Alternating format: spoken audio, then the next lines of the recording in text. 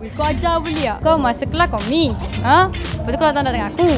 Walaupun sibuk dengan kerja selepas kejayaan luar biasa lagu teman, penyanyi Iman Troy memberitahu dia juga masih bergelar seorang pelajar. Kata Iman, sejujurnya dia teringin untuk ke kampus tetapi terpaksa akur dengan situasi pandemik sekarang yang memerlukan dia belajar secara online. Um, dalam masa Iman fokus career ni juga, Iman masih teruskan study uh, dekat UiTM insyaAllah, music juga. Jadi tak ada tak efek apa-apa pun sebab kita belajar benda yang sama, kerja pun benda yang sama kan. Jadi dia lagi macam tambah ilmu lah. Uh.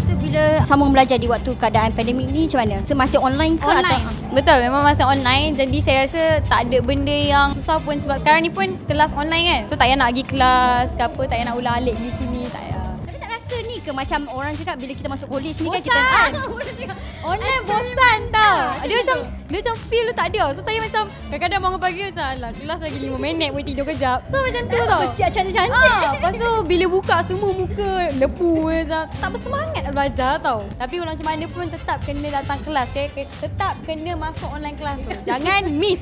Faham? Oh, ni dah nak final. Cari. Cikgu eh. Saya marah tau kat kelas datang. Ya, macam mana dia nak buat ni aku tak reti lah. Eh, kau ajar boleh tak? Kau masa kelas kau miss. Ha? Lepas tu kau datang dengan aku. Jangan miss kelas tau. Dengar? Mungkin ada yang tahu, mungkin ada tak tahu. Orang macam confuse Iman ni masih single ke? Ada yang kata macam Tuan Iman pun macam rapat dengan Naim Daniel semua kan.